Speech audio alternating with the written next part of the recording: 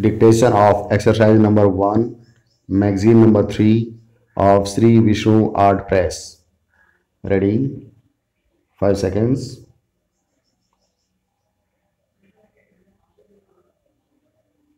This appeal has been filed under section 28 of the Hindu Marriage Act 1955 against the judgment and decree dated 9th January 1998 passed by the Additional District Judge number 1 Bharatpur in civil miscellaneous case number 14 of 1996 dismissing the application submitted by the appellant under section 13 for the dissolution of the marriage.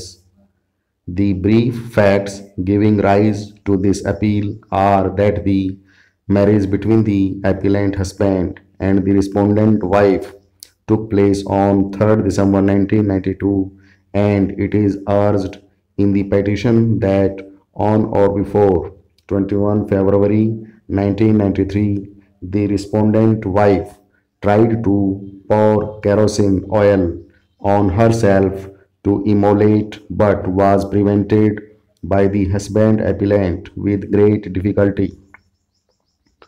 On the next day, that is on 22nd February 1993, on information having been sent by the appellant to his in-laws, the brother of the respondent wife and her brother-in-law came and took her to her parental home.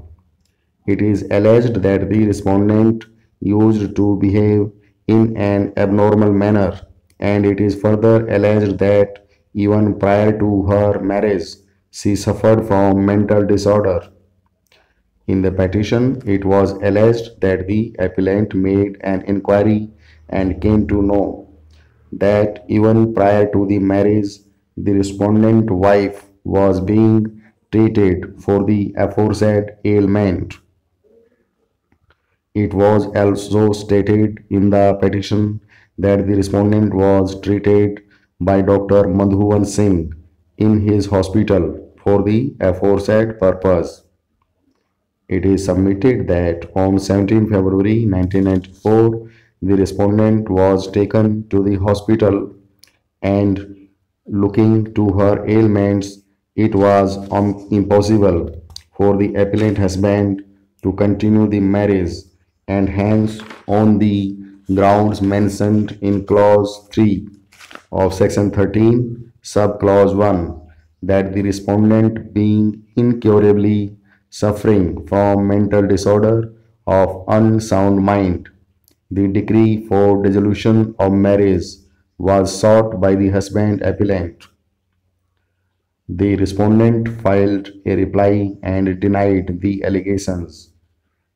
In response the respondent filed her reply and alleged that the husband appellant used to treat her with cruelty because of the fact that sufficient amount of dowry was not given in the marriage.